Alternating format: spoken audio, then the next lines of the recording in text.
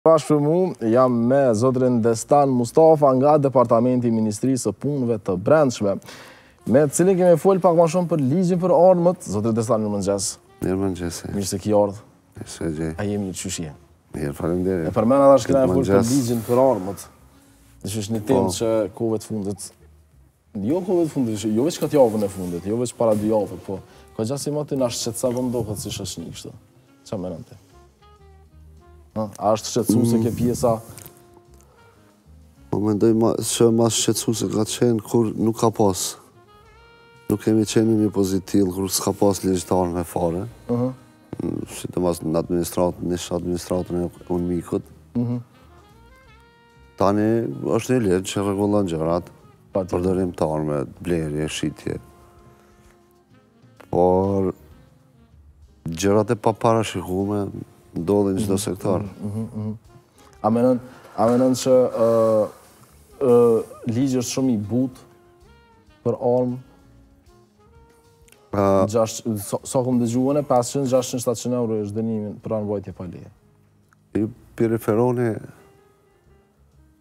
ligjit penal, i cili nuk ka dënimin e vogël, është dënim i lartë, po varet sa sa zbatohet, dhe sa gjyqtari në bindjen e tij e vlerëson, sepse është Bindje, është totalisht në diskrecionin e gjyqtarit me vlerësu se, po unë nuk jam në atë pjesë, nuk e kam tagrin të ta vlerësoj. Po, e zakonshme është që armët pa leje, të të veprat për armëmbajtje pa leje, Po vendosen, po gjykohen pak, mendoj që është nivel i ulët i mhm. dënimit. Po mendoj që duhet të merret pak më seriozisht kjo pjesë. Mhm. Edhe ligji për armë ekziston për të përcaktu rregullat standarde se si bartet arma, si ka po. pastaj aty edhe sanksione legale, sanksione kundërvajtje për armët legale, mirëpo për pjesën ilegale është çështje tjetër që në na nuk mund të vendosim është vetëm gjykata. Patjetër, na as me folë për atë pjesën ilegale nuk kem qka.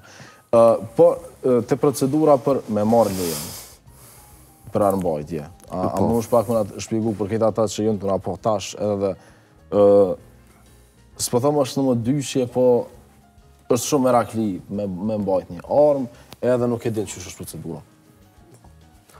Po, iu referu historiatit pak, me ju dhan pak informata të përgjithshme. Kosova ka trashëgu rreth 40.000 armë legale nga administrata e UNMIK-ut, dikun rreth vitit 2009-2010, Në atë kohë është hyn në fuqi ligji i ri i armëve, ligji i parë, mhm. që ka fillu, ka parapa procedura standarde për t'u pajis një person me, me leje për armë, mhm. për ta blerë, për ta përdorë, edhe kjo është krejt në kuadrë të praktikave evropiane, ndaj të cilove ne jemi zotu se do të Do t'i bashkohemi atyre praktikave dhe do t'i harmonizojmë ligjet tona me ligjet evropiane, të cilat edhe kanë ndodhë dhe janë dhe gjithmonë ndodhin edhe përmirësohen në vazhdimësi. Ne kemi të trashëgu atë numër dhe të katër mijë armëve. Ligji ka parapa që ato armë të legalizohen, kuptimin të legalizohen, kuptimin që ata persona që janë posedus të atyre armëve, t'i përshtaten kritereve të reja të Ligjit për Armë, siç janë trajnimet e nevojshme, dokumentacionet e nevojshme, po edhe arma duhet të jetë t'i përshtatet, edhe arma teknikisht t'i përshtatet kritereve ligjore të reja. Okej, do të thotë jo çdo armë mund të legalizohet? Jo çdo armë, të cilat armë që duhet të legalizohen dhe mund të legalizohen janë ato që kanë shënime të rregullta. Ah, historikun që e kanë. Po, që kanë një historik të rregullt, shënime të rregullta, siç janë prodhuesi, numri serik. Kjo krejt për shkak të të gjurmimit të saj në të ardhmen. Por, ne gjithmonë po hasim në praktika të vështirësuara për shkak se në atë kohë shumica e armëve nuk kanë qenë në rregull. Mhm. ne jemi në proces të transformimit të gjitha atyre armëve në në aspektin legal, deri tani dikun rreth gjysma e tyre janë legalizuar, të tjerat janë në proces, por kemi edhe aspektin tjetër që tani lejohet arma për t'u blerë në mënyrë legale për qëllime sportive, rekreacioni. Po. Edhe gjuetie. Edhe gjuetie. A Për shembull, a ka ndonjë armë, ndonjë lloj armës që nuk mundesh me legalizu, ani pse e ka një të kaluar të pastër ose ka dokumentacion që s'ka të kaluar? Ne kemi pas një proces legalizimit në vitin 2019 mhm. për në të cilin kanë marrë pjesë, në kuptimin kanë marrë pjesë, kanë dërzu armë, e janë dërzu në 2.000 copë, rreth 2.000 copë armë. është proces i cili ende nuk është përfundu, nuk është përfundu për shkak të disa çështjeve teknike të armëve, të disa armëve, po them në kuadër t'atyne 2000 armëve, për shkak se nuk i dyshohet që nuk i përkasin, nuk i përmbushin kriteret ligjore aktuale. Okej.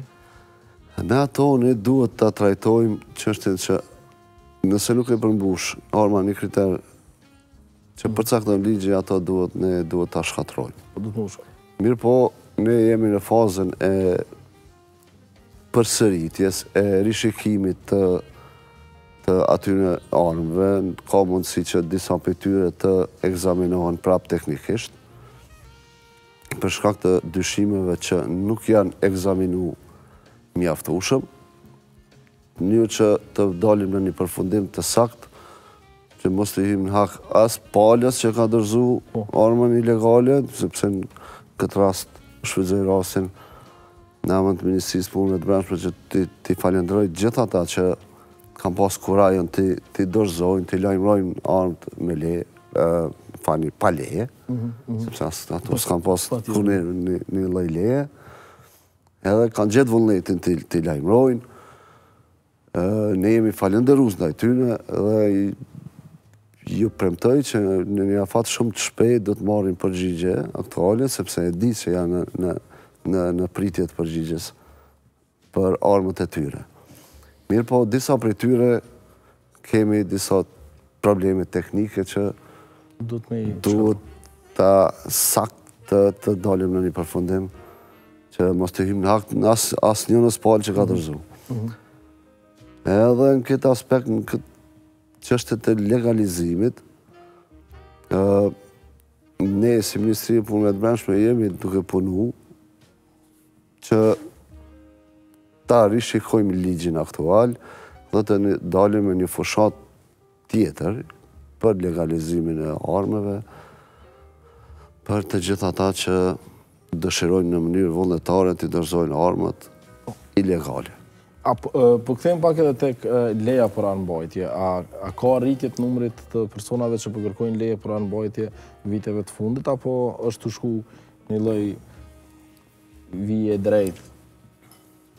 Tani, armëmbajtjen ta sqarojmë, sepse armëmbajtja nënkupton një armë, një leje që mund ta posedosh armën 24 orë. Pa po, është leja e parë që e keni ndalu? Armëmbajtje quhet ajo. Kurse armë posedim është leja që një person pajiset me leje të tillë mhm. për qëllime të shenjtarisë, rekreacionit. Patjetër. Dhe për qëllime të gjahut. Po. Qëllimet, leja për shenjtari nënkupton që ajo armë mund të përdoret vetëm në kompanitë e licensuara, në poligonet e licensuara dhe askund tjetër.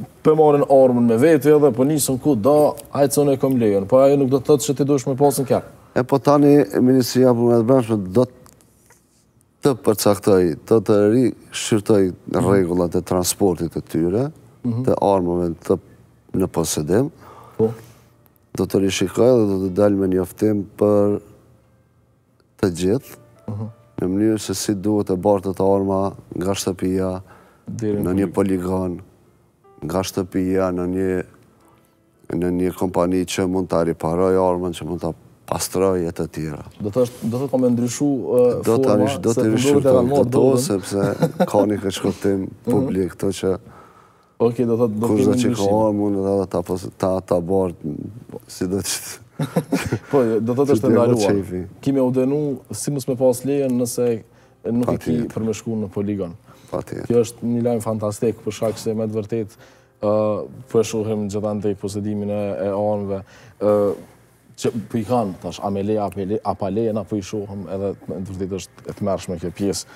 Zotri Destan, për fund, kisha pas qef një lloj mesazhi nga Ministria e Punëve të Brendshme për krejt këta persona që ndoshta kanë armë pa leje, çka me bo? Unë e ceka ma herët, Ministria e Brendshme nuk do të shkoj gjatë, do të del me një njoftim për fushatat e ardhshme të legalizimit të armëve. Po.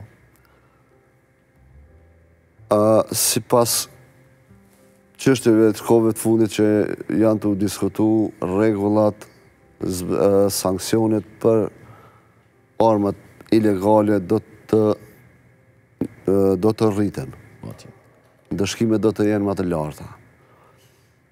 Edhe unë ju bëj thirrje që të gjithë atyre posedusve ilegal, më mirë të kenë një armë legale mm, nën rregullat e caktuara të mhm. ligjit, sesa të ke të jetë një të ketë një armë ilegale, sepse me atë përcaktohet dhe bëhet vetvetiu kriminal.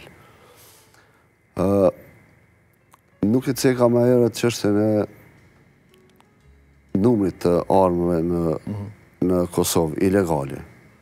Sepse ka pyetje gjithandej. Mhm. Ë pas luftës rreth vitit 2005-2006 në një hulumtim kanë rezultu rreth 360.000 armë ilegale. Me hulumtimin e vitit dy mijë e pesëmbëdhjetë, të përkrahur nga organizatat e UNDP-s, mhm, mhm. kanë rezultu rreth 250.000 armë ilegale. Dhe ka ul pak. është ul, kjo na ka rezultu për faktin se Ligji për armë është miratu vitin dy mijë e nëntë, dy mijë e dhjetë, atëherë ka fillu zbatimi i tij. Njerëzit janë orientu në në fushën e armbajtjes me leje, mhm, mhm. kanë fillu me, me, me ble armë me leje, dhe gradualisht kanë fillu, po, me i hjek armët ilegale, mënyra të ndryshme, Dhe kjo ka rezultu që numri me qenë ma pak. Po edhe policia e Kosovës çdo vit konfiskon rreth 1200 armë. Rreth plus minus, në atë çdo vit rreth 1200 armë. Edhe këto kanë ndiku që të jetë numri ma i vogël.